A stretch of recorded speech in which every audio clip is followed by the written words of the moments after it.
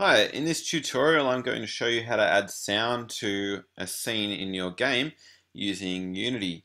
Um, so when it comes to sound in Unity you can add sounds that play constantly in a scene such as background music um, or different sound effects like maybe a frog croaking um, if you're near water or something like that.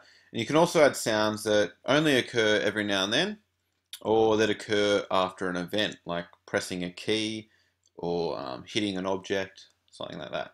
So sounds can also be looped, so they can repeat over and over again, or they can just play once, um, or they can play on cue. There's also 2D sound, so that's sound that's heard everywhere in your scene. So as you move around, you hear the, the sound everywhere, and it doesn't really change.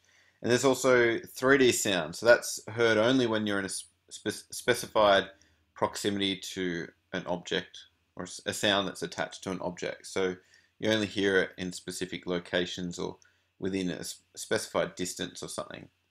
Um, a sound can be scripted, but you can also add sound without any code at all, which is what we'll do first in this tutorial. So to add sound to your scene or to add audio to your scene, you need to follow these steps. So firstly, make sure that there's one and only one audio listener component in, in your scene. So the audio listener component, if you've got like a first person controller, it should be um, usually attached to that or within one of the child objects attached to it. Um, so I've got a first person controller here and if I click on the objects inside it, here we go, I can see that there's an audio listener there. So there should only be one audio listener. If you've got another camera in your scene, so you might have cameras in different um, parts of your scene, um, make sure that they don't also have audio listeners. So it should only be one audio listener attached, um, or one audio listener in your scene at a time. If you have more than one audio listener, you're going to get problems with the sound and you'll also get an error message. So when you run your scene, when you click on play, if you see in the console or down the bottom there's, there's an error message saying there's more than one audio listener, then you need to have a look around the objects in your hierarchy, the assets, and um, you need to make sure that you delete or disable any of the audio listeners except for one. And that's the audio listener that will usually be attached to either your main camera that you're using or the character's um, camera. So just one audio listener. All right. Um, uh, next thing you need to do is have an object. So either create an object, an, em an empty object, um, or it can be something like a cube or a sphere, or use an existing object in your scene that you want to actually add the sound to. So you might like have a dog in your scene that's barking, and you want to add a sound to that dog. So you can select the 3D dog object and add a sound to that. Now I'm going to add a barking dog sound, but I don't have a dog 3D model to use here. I've just got a sphere, so I'm going to add it to the sphere instead. Okay, and you can just pretend that it's a dog. Um, so you need to select the object, and you need to go to the inspector panel and click on Add Component. All right, um, just type in audio, start typing audio, and need to add audio source. So click on audio source to add that component there to the inspector and you'll see that there's a little audio um, graphic on the top of your object now a little speaker icon um, okay so after you've done that you need to find an audio file um, and you need to it can be an mp3 it can be an ogg file it can be a WAV file most of the big file types are accepted and that needs to be added to the audio clip property which is here on the audio source component. So in my assets folder, I've got an audio folder. And if I just go into um, Finder here, I'm going to drag this WAV file here. It's called bark.wav. I'm going to drag that in there to the audio folder. Comes up there. All right. I'm going to click on my sphere, scroll down until I see the audio source component, and I'm going to drag this audio file onto audio clip. Now I can I can either drag it on there or I can click on the circle there and look for any audio files that exist already. So I can actually see Bark is already there. So I could just double click on that. Um, so double click on that and now audio clip says Bark. Alternatively, I could just click and drag that file over to there. Alright, so I've got a barking sound there. It's called Bark. and that's attached there to audio clip. All right, that's what we want. All right, to make the sound play throughout the entire scene, we can enable play on awake, so that's checked by default. All right, and you can also check the loop option if you want this either a song or sound effect to repeat or loop throughout the entire scene. So um, what I'll do is I'll click on play, just turn the sound right up. Now you might not hear this because it's going to be coming through my speakers, so it might not be heard by the microphone. But there we go. Hopefully you heard that. So when I clicked on play, as soon as the scene started, um, the sound came from that red sphere over there, the barking sound. Now, um, if I click on loop and play it again, it should keep looping. Alright, which is a bit annoying really. Probably a bit too loud. Okay, so uh, might um, turn that loop off for the moment. Okay, so that's basically uh, adding a sound, playing on awake, so having the sound run when the scene runs, and then looping um, the sound.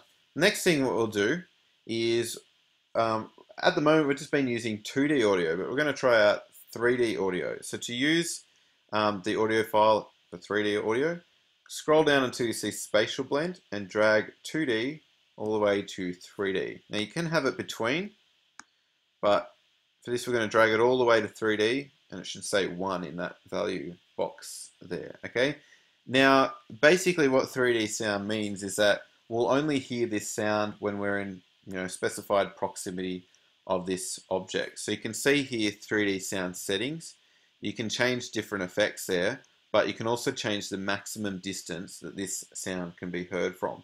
At the moment it's 500. We could make it less, we can make it bigger, but that specifies how far away from the object you can be in the scene before you stop hearing the sound. All right. Now, because it's actually a, a, short sound, it only goes for about a second or less. It's not a song. We might actually just check loop again so that we can continue hearing that sound. Um, all right. So now it's 3D audio. It means that we'll only hear the sound when we're near this object. All right. So we can click on play.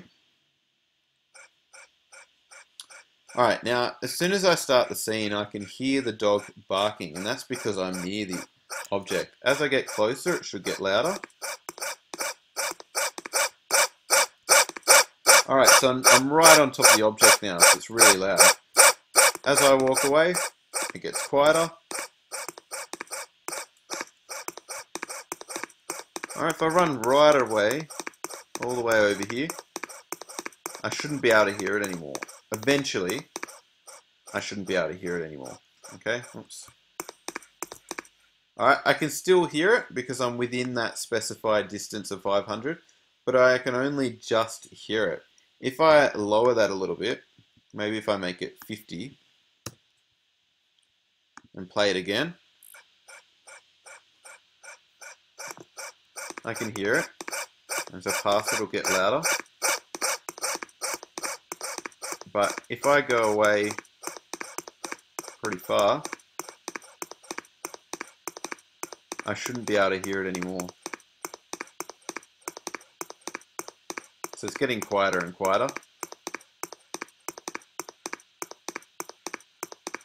And I can still just hear it, but only just.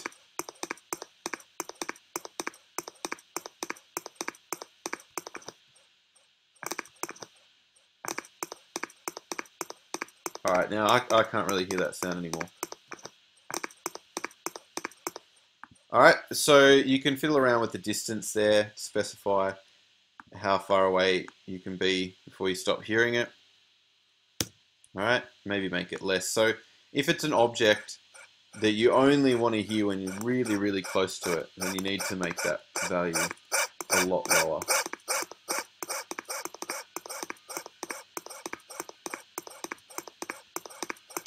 Okay, so even with five, I can still hear it. So you might want to make it like one or something like that. Okay, All right, so that's um, 3D audio, which is pretty cool. Um, but at the moment, we've just been adding sound without even adding any scripts. So we can actually um, add scripts to control the audio. So what we can do is we can create a new script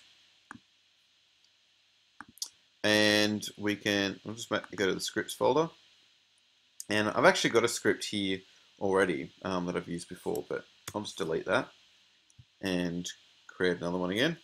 So right click, create C sharp script in either your assets folder or scripts folder. I'm going to call this audio script and double click on that to open it up so that I can edit it.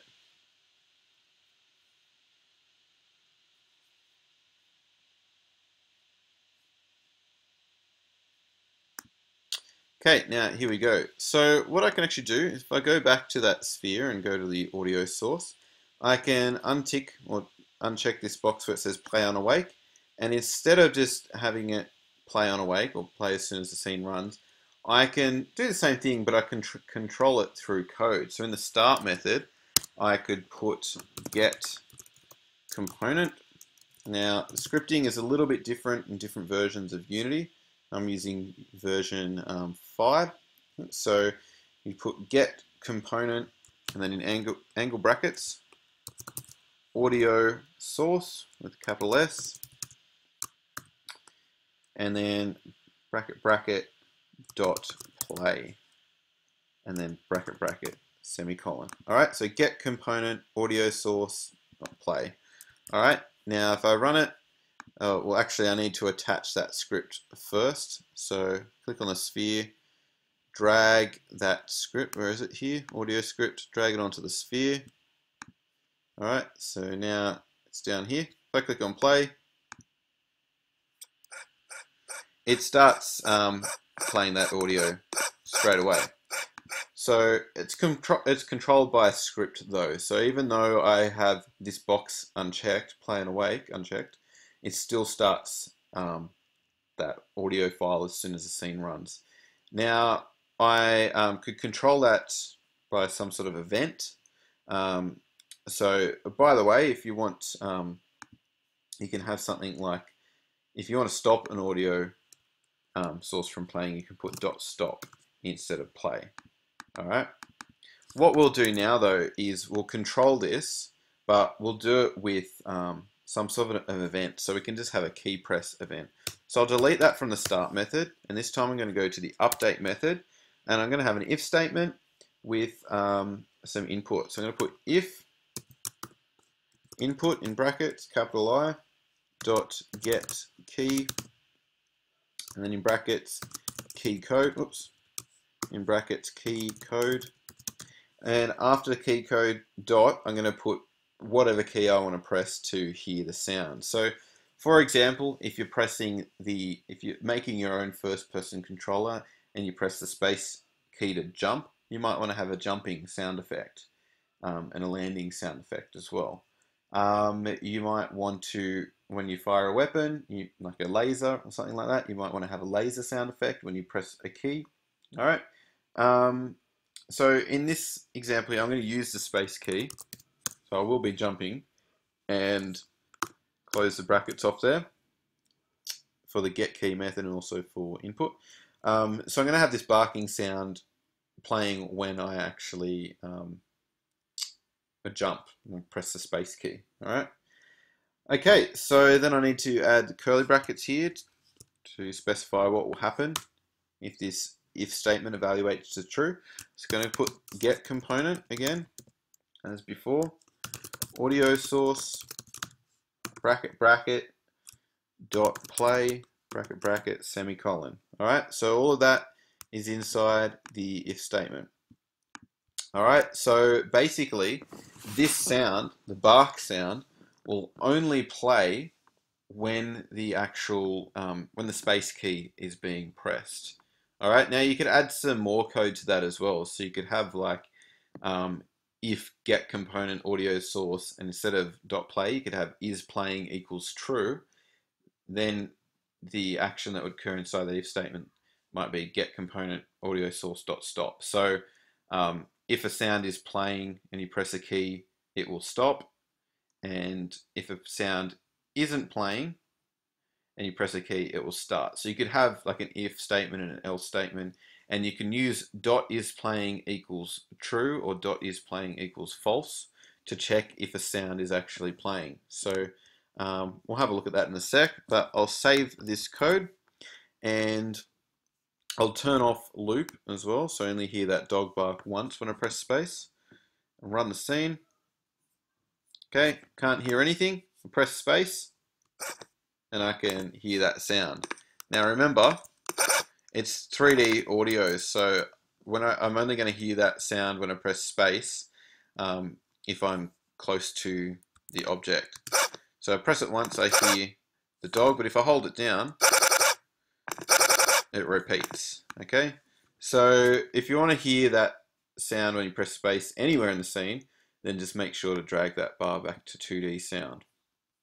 Okay, I'm going to go back and change that code just slightly. So this time I'm going to have um, I'm going to have if input.get key keycode.space, um, but I'm going to have another if statement in there. I'm going to put this inside the um, nested if statement.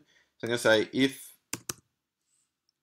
uh, get component, so in brackets get component, all right, and then in angle brackets audio source